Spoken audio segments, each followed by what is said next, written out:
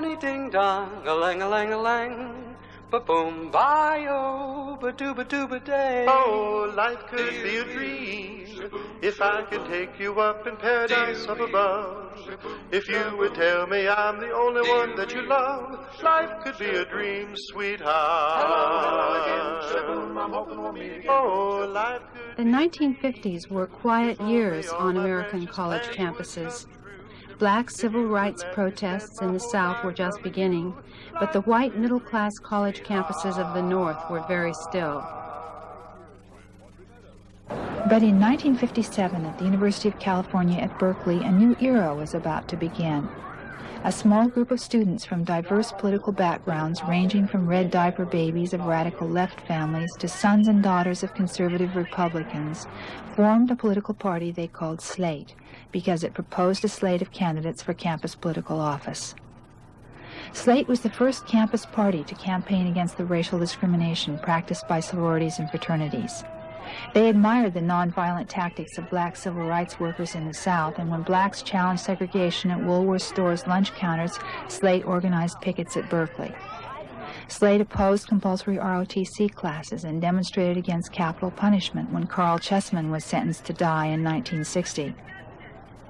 By bringing issues of national importance onto the campus for debate, they pioneered the change in student politics that later became known as the student movement of the 1960s. San Francisco City Hall, May 1960. The House Un-American Activities Committee comes to town.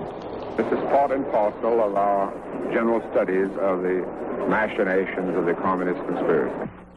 Slate organizes protests.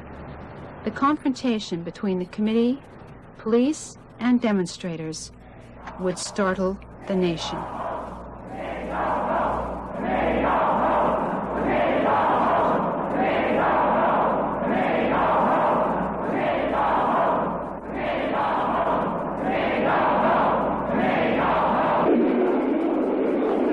A full-scale riot seems to be underway. The police have grabbed a Negro and are dragging him down the stairs on his on his back.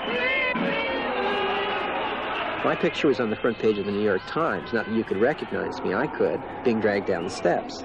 You know, so, you know, two days later, I'm looking at my picture, and it was bizarre. You know, what did I do? I went to the demonstration and got arrested, and it's suddenly national news.